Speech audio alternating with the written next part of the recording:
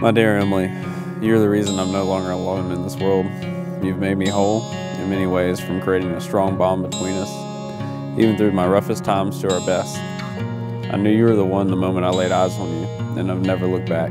I can't wait to make many more memories with you, just like the date night we had the adventure pie in the kitchen. We laughed until we cried. You know which time I'm talking about. But not only have you gave me a hand to hold for the rest of my life. You've given me a family, which I cannot be more proud to say that is mine.